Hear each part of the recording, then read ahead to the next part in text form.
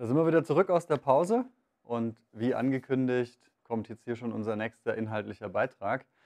Ich bin super, super happy, dass äh, wir den Jörg gewinnen konnten, dass er heute für uns hier sprechen wird.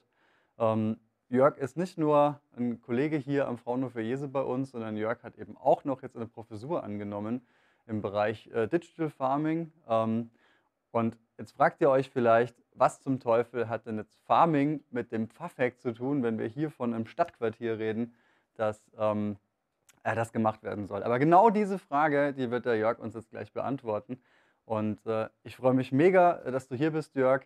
Und ich übergebe auch gleich mal das Wort an dich. Darfst dich gerne selber vorstellen und mit deinem Talk auch loslegen. Super, vielen Dank, Patrick. Herzlichen Dank für die Einladung. I think I switched to English because I heard that many, many participants here in the Pfaffhack are English speaking only. So I offered to give the talk in English. So uh, yeah, thank you very much uh, for inviting me. Thank you very much for the organizers here, the, the whole Pfaffhack team for organizing the Pfaffhack. I really, really appreciate your dedication and that you do this um, together with all the people that participate. So great that you participate in such an event and have your creativity here in, in this hackathon. Yeah, my name is Jörg Dörr. Patrick already uh, announced me. I'm at the Fraunhofer IESE. There, I'm there for over 20 years now in a variety of different positions. Now I'm in the Extended Institute Management, heading also there the program Smart Farming, and I'm at the University of Kaiserslautern heading the chair of digital farming. And yeah, what do I want to bring to you? First of all, I want to uh, tell you a little bit what is digital farming, because I think this is a really cool societal topic, how we eat, what we eat, how this is grown, and we should care a bit more about that. And in the whole digital farming topic is very closely related to sustainability. And that's something that should drive all of us very strongly. And I also will tell you a little bit about how digital farming becomes a little bit more regional and more maybe even into the city centers and give you some examples there. I'm looking forward to that talk. And whenever you have questions, feel free to ask also at the end. I'm very happy to answer any kind of questions and come into a dialogue with you. So first, I want to tell you a bit more what is digital farming cost. This term is also heavily overloaded. And I want to show you this kind of uh, picture. And there are so many IT solutions when it comes to digital farming. On the very top, you see here information systems. Maybe you all use a kind of Google Maps like uh, system. This is called a geographical information systems. And the farmers also use these systems, not for not Google Maps, but similar systems there. And they are developing over the time into a whole um, world of connected farm management information systems. You can think of like an enterprise resource planning system, an ERP system for farming. This is kind of a great support in the IT world with the laptops and the desktops. And on the lower part, you see the embedded systems. We have so many cool sensors and actuators in farming that tell us about the weather, that tell us about soil properties and so on. And um, they are, of course, also connected to larger vehicles. So we, we are going into the direction of autonomous systems, self-driving tractors on the fields or harvesters. And these are really complex systems, also sometimes called cyber physical systems, because they interact so much with the, the overall technical and, and, and world the, the implements that are drawn by the tractors, they are pretty intelligent nowadays and they can do a lot of stuff. And not last um, part are the mobile systems here, the smartphones and the tablets. There are so many applications that support the farmers. I also brought you some some video of one of the applications there, what, what they can do with some smartphone app already. And all these systems, they come together in what we call, besides the biological ecosystem, we also nowadays have a digital agricultural ecosystem with many, many applications that somehow have to work together. And there's a lot of data involved, and that's why you see here at the bottom, there is the potential to do big data and learn from how they grow the, the vegetables, how the, uh, they grow the corn and so on, and uh, yet transfer this knowledge also to other farmers. So with one sentence, we can say digital farming is the software supported optimization and automation of one, the agricultural processes, the work processes, like for example, the harvesting or the seeding, the planting, or the, the fertilization yeah, of, uh, of the plants, and also the business processes, for example, when it comes to selling the goods then, or like direct marketing and, and new business models, that's also part of digital farming. So pretty broad actually. For me, the digital farming is a really interesting field of research. There is highly relevant and a current research field. There's a lot of things going on. There are ex exciting challenges also. It's not all solved yet.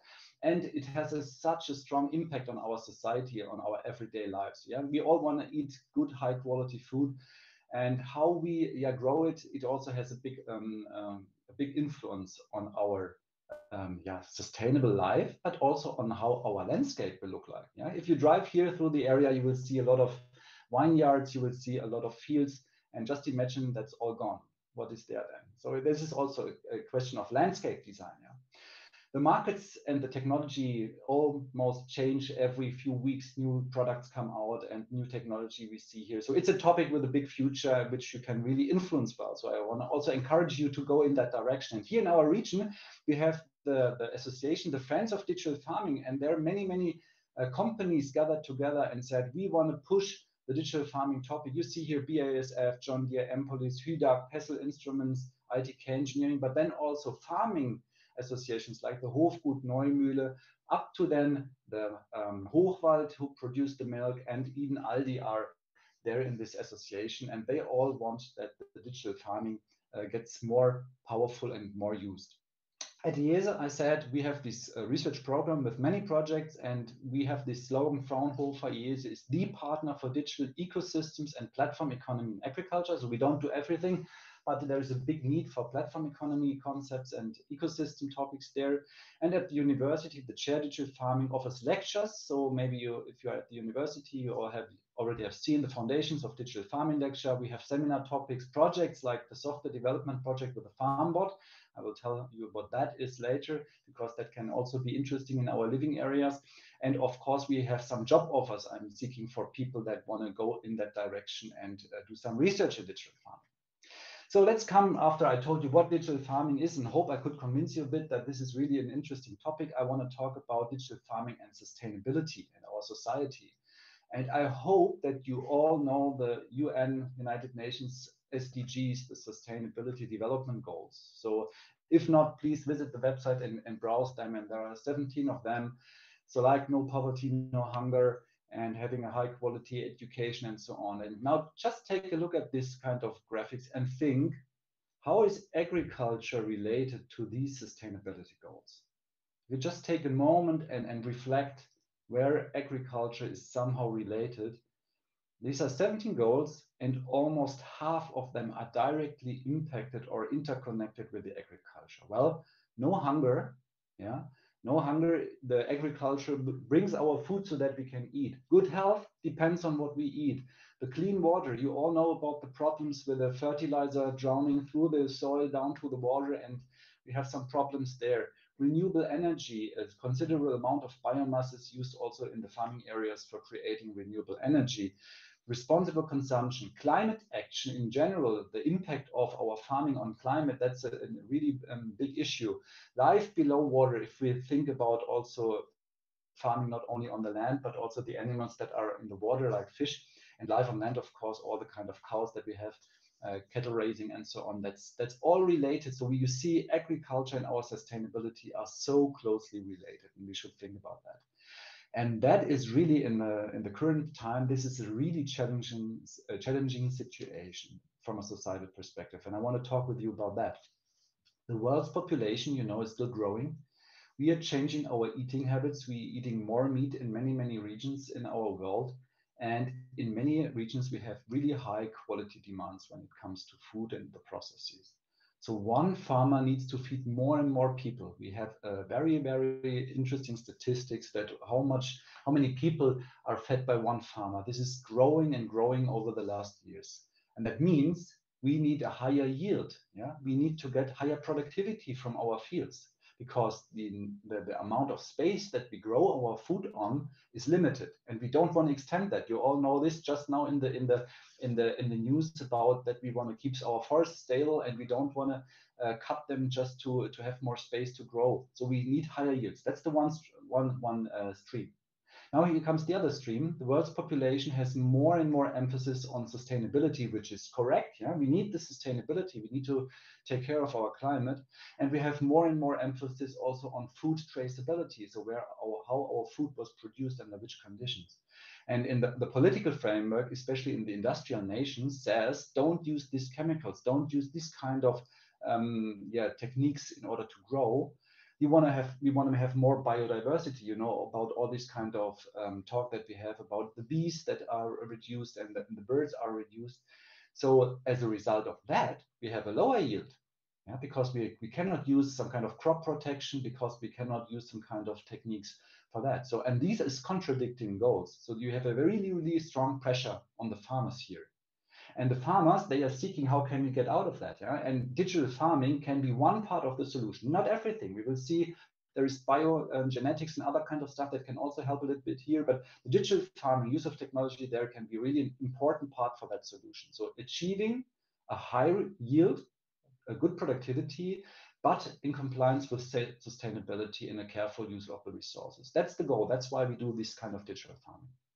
So now I didn't really tell you so much about what is digital farming. And I just thought I'd bring you some examples. I bring you some videos of what is digital farming and what is not. And on YouTube, you find also funny videos here like this one. No, this is not what I mean with digital farming. We don't want to have the QR code on the cow and we don't have the cow walked by roads. That's not the case. But let's see what it is. So I bring you, uh, um, I brought you some videos here and just to talk. And this I think is really a nice example. So let's see what uh, uh, how digital farming can support sustainable agriculture. La pyrale. Un papillon dans les chenilles peut anéantir jusqu'à 40% d'une récolte de maïs. Pour détruire les œufs de ce ravageur, des agriculteurs de la Drôme larguent dans leurs champs des micro-abeilles appelées trichogrammes, un ennemi naturel de la pyrale on ne fait que reproduire ce qui se passe dans la nature, mais à plus grande échelle.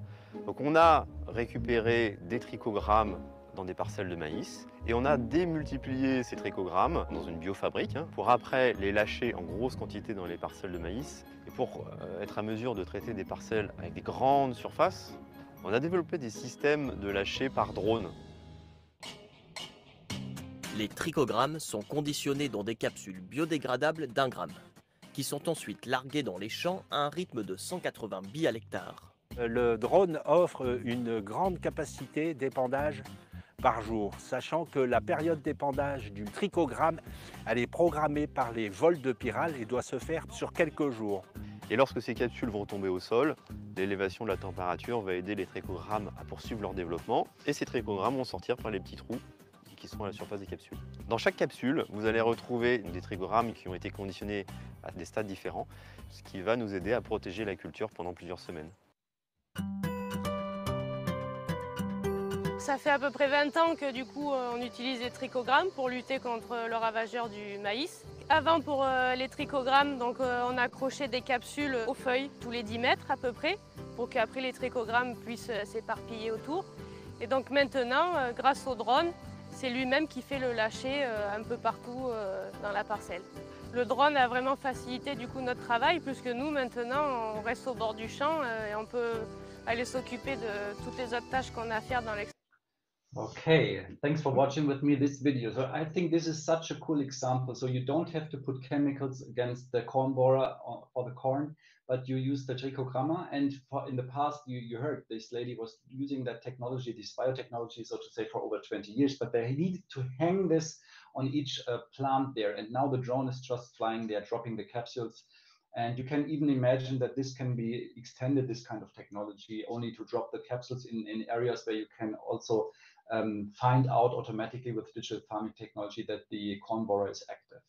So that is one example this I promised you to bring also an example of a mobile application that um, that helps the farmer. So this is really uh, something which is not very expensive. You don't need to be able to fly a drone or even buy a drone. So let's take a look what this uh, app can do.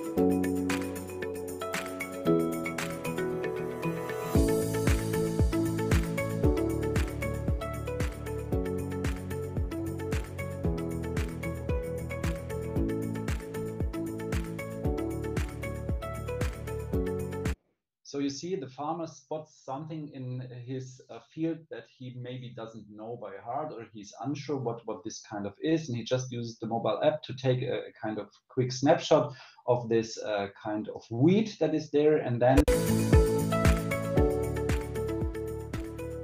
this app will tell him what you just took as a photograph is a cleavers. And even the, the app can go further and recommend some kind of ways uh, how to treat this cleaver to get it out of the field.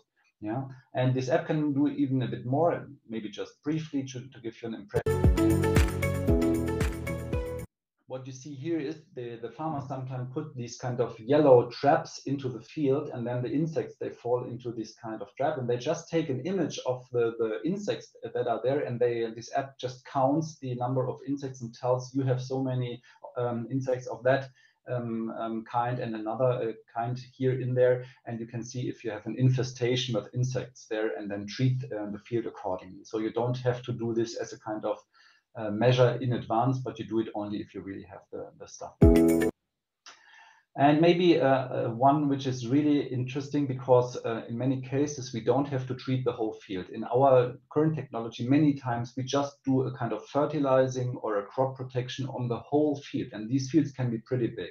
Rather than that, we want to be more and more plant specific. And this is just an example here um, how we can be really much more um, plant specific and don't treat the whole field with some kind of equipment. We apply the first nitrogen dressing across the whole field. The second and third nitrogen applications are site-specific using the Isaria crop sensor.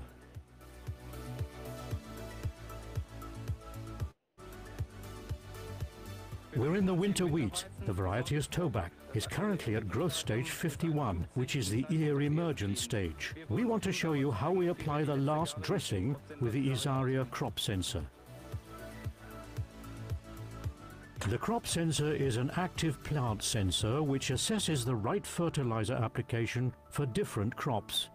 It uses information about the current nutrient supply to the plants and their biomass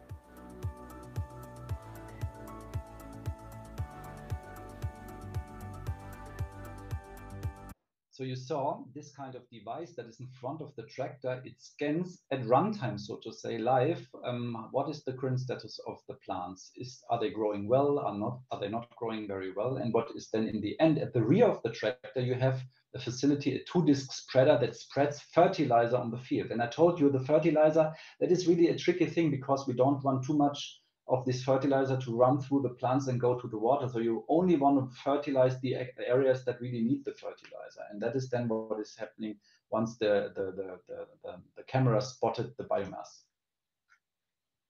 The only way of achieving ideal fertilizer distribution. And the fertilizer is applied exactly where it is needed by the crops and where it can be used efficiently. This is also reflected by the recorded sensor measurements. The single terminal makes operation very straightforward. The recorded data exactly match the crop development on the ground. This supports our confidence in the system. So this should just give you an idea in the large field what is happening in our product. So what we get in our living areas is produced on such a field and we take care about sustainability in, in the digital farming. And there's a lot of things happening. But all of that comes now closer to our living areas. And I just wanted to briefly give you some example how that happens.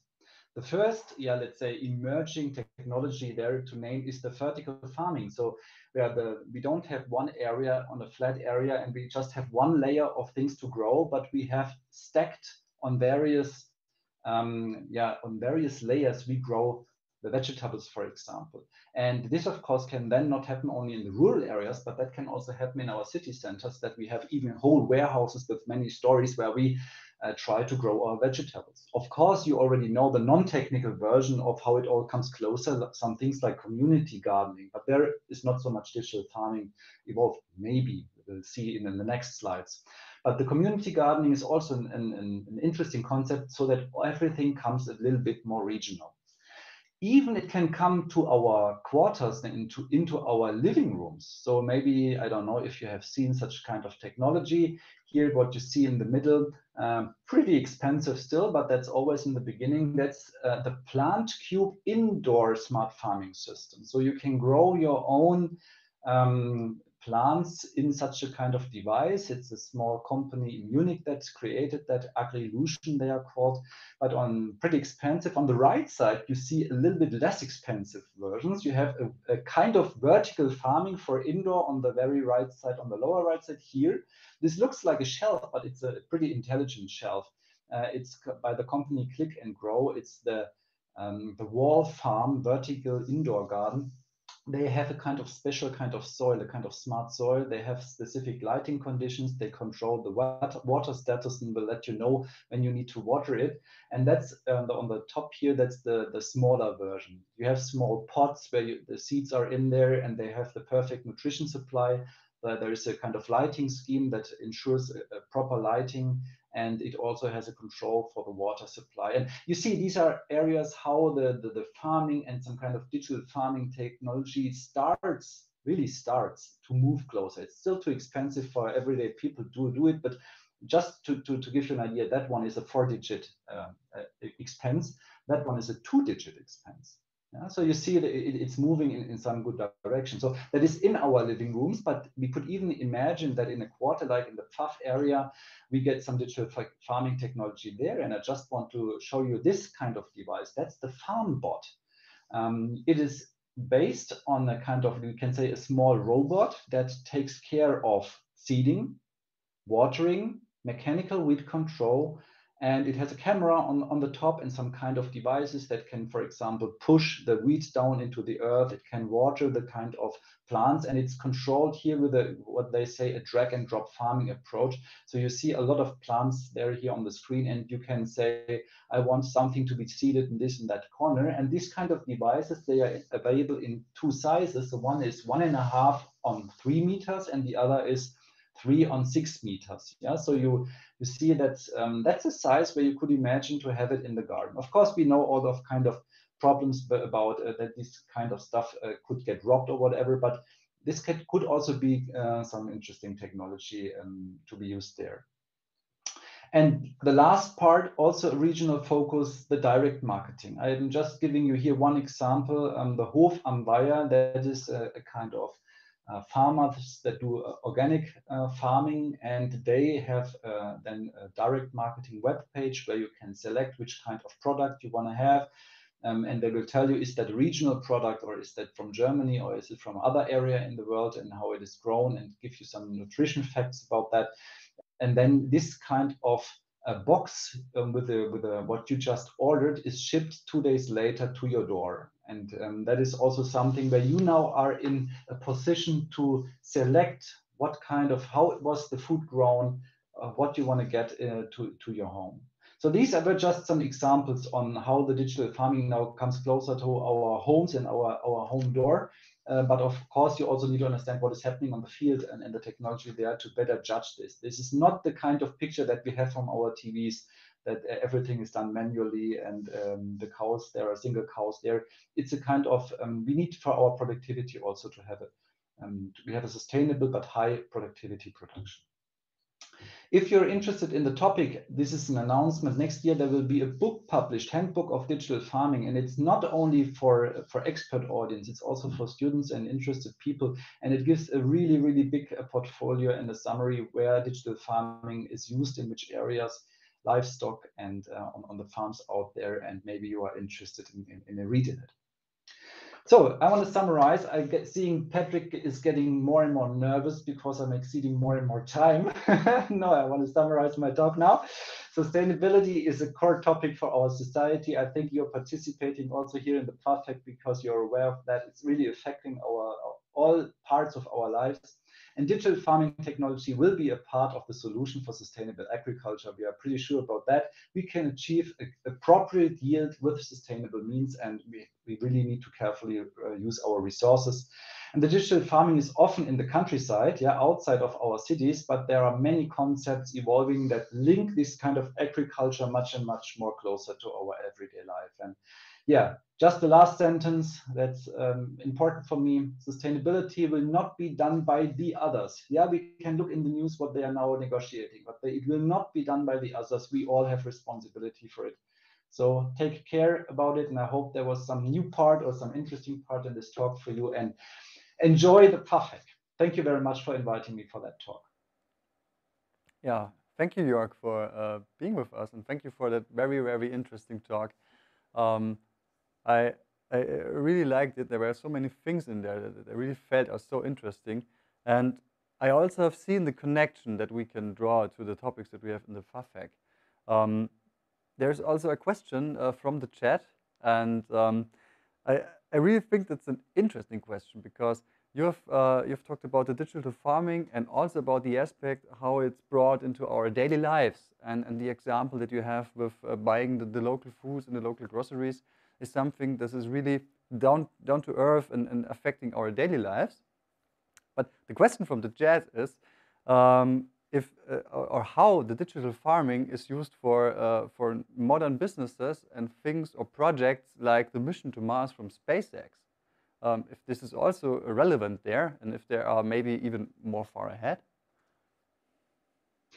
So I think this is really an interesting, uh, far-looking question here. I don't have um, the, the data or information how SpaceX is, is doing that, but um, honestly, we have to think about how we feed our um, our, our people if we really want to have a long-term mission in, in other areas. So the whole concepts of vertical farming, growing things in, um, in not on the soil, but on, on let's say smart soil also, they will have also a kind of um, outreach on this kind of visions that we have for the future. So I could imagine that the um, digital farming technologies there contribute very strongly. And let's say that's often, uh, I think, a kind of dual or triple use that you use technology, let's say here in our uh, local communities, you, you use them in the in the landscape, but maybe you will also use them in very, very controlled environment. You know about the experiments probably that take care about how people can live in, a, in an encapsulated area without outside communication or putting in re, uh, resources or getting resources out. And there, of course, these kind of new technologies um, and, and the especially the, the knowledge that is gained in, in vertical farming can boost this kind of developments. But I'm not personally involved in this kind of activity. So, uh, but uh, that is definitely something that is uh, very interesting. Yeah, thank you so much. And I also got one more question. Um, what I wonder is all this, this digital technology and, and all these new things that are coming up and these solutions that they could even be some kind of intimidating maybe for the user. So uh, how do you uh, approach the, the acceptance of the end users? Because maybe if you say a farmer is someone who's very down to earth and maybe not so much into digital technology, which could again be something that is comparable to our situation in, in Pfaff. That is a very, very interesting and a good question. I could have even paid you for that question in advance. So thanks for bringing that up because that is one of the three top topics of my chair at the university, how to deal with the end user acceptance of the digital farming technology. Because we know the adoption rate of digital farming technology is pretty low. Yeah, even the ones that really contribute to sustainability. And there are a variety of reasons why this is the case. And we are trying to tackle this because we really see exactly what you mentioned. On the first part, the, the farmers themselves, they are sometimes reluctant. And that is um, not because they are so critical about the technology, they just don't know what will be the effect of using the technology, right? So if they say, I don't use chemicals, but I rather use the technology, who would pay me if I get less yield? Yeah. So this is a really danger for the farmer. So we are uh, really working on studies to find out what are the core reasons for farmers to have uh, problems with that. There are studies also from 2018 roughly, but um, we want to go into more detail in our research to understand what are the core, let's say, showstoppers or enabling factor for the digital farmers to use the technology. And to be very honest, if the technology doesn't bring any benefit, we shouldn't propose it. It's not digital, it's cool. Digital is just a means for the people. And then I want to come to a second dimension, the people. If we talk or if I um, take a look at some of the organic farming communities, they make advertisement with um, a slogan that says that our products were produced without technology.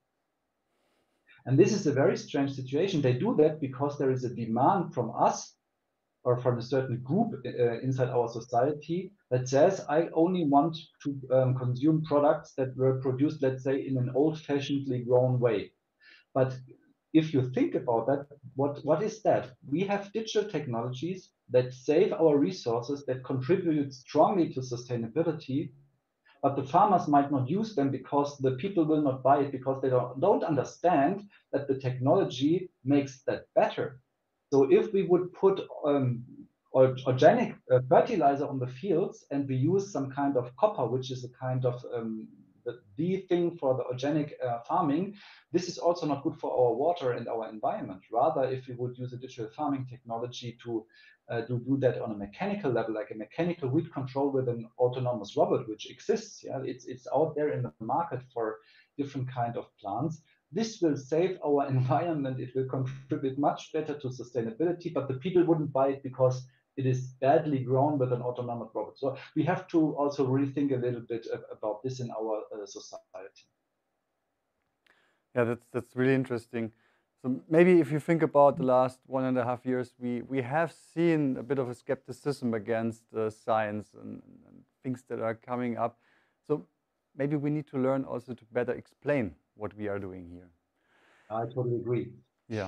so there was one more question uh, from the chat. Um, a, a, very specific question about the, the, video that you have shown with the with the drone flying over the field and um, I cannot remember the exact name. Uh, the Trisho. Uh, Trichogramma. The Trichogramma yeah. is the corn borer. Yeah.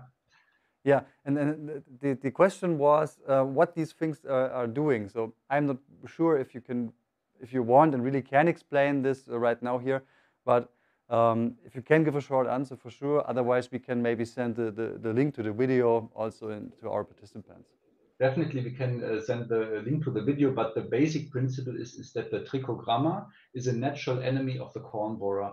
How they directly fight it, I think they put their, uh, you know, their, um, their eggs somewhere, which is then affecting the corn borer. But how it exactly works, I don't know. I'm, I'm not a, a bio, biologist. For me, the interesting part is the uh, outreach of the uh, trichogramma capsules or with a trichogramma inside um, with the drones. So I only know that they work pretty well and it's a pretty effective means, which is completely biological and you don't need the chemicals. But the exact um, causality, how they um, do it, it's just a natural enemy. So it would also in, in, in nature, the trichogramma would hinder the corn borer for um, spreading. Yeah? But I can, I'm, very happy. I think I put the link on the YouTube video there, but I'm not sure if they explain how that works. Okay, great. So we can share the link uh, with our participants and, and maybe uh, they can find more information on the internet as well. Yeah, I think there are no more questions left. So thank you very much. And I, I really enjoyed the talk. And what might be also an interesting piece of trivia, last year there was a team um, in the Pfaffhack that were creating a solution.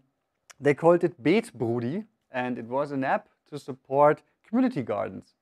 So this really is a perfect link to last year, and this is also a perfect link to, we are really looking forward to the solutions that we will be seeing in a few hours. And Jörg, thank you for joining us. Um, thanks to all the participants for watching, and uh, we will see you soon with the next talk, and after that with the pitches. Thanks for having me. Enjoy the Pfaffhack.